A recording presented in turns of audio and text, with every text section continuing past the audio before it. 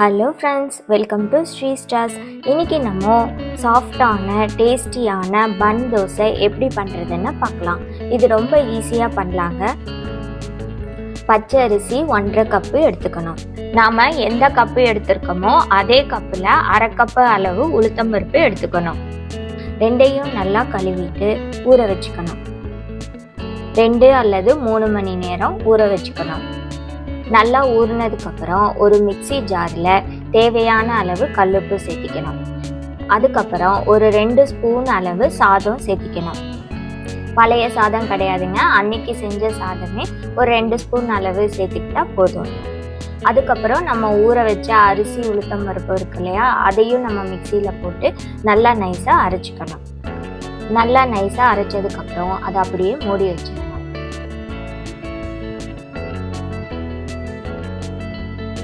நம்ம இட்லி மாவு புளிக்க வைப்போம் இல்லையா? அந்த அளவு இந்த மாவை புளிக்க வச்சுக்கணும். ஒரு ஆறு மணி நேரம் கழித்து பார்த்தா மாவு நல்லா பொங்கி இருக்கும். மாவு நல்லா கலந்து விட்டுக்கணும்.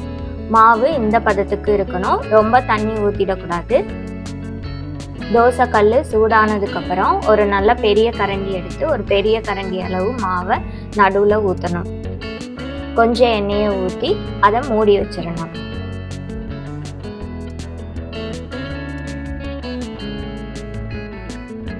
அடுப்பை மிதமான தீலையே வச்சிருக்கணும்.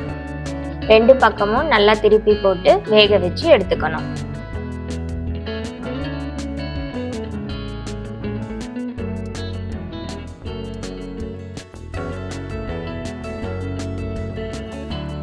பார்த்தீங்களா எவ்வளோ சாஃப்டாக பஞ்சு மாதிரி நல்லா உப்பி வந்திருக்கு.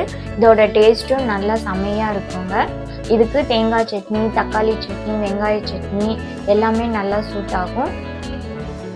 பன்னு மாதிரி நல்லா உப்பி வரும்.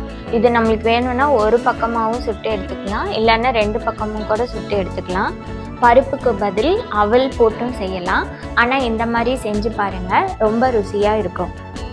கண்டிப்பாக இதை ட்ரை பண்ணி பாருங்கள் எப்படி இருந்ததுன்னு கமெண்ட் பண்ணுங்கள் தேங்க்ஸ் ஃபார் வாட்சிங்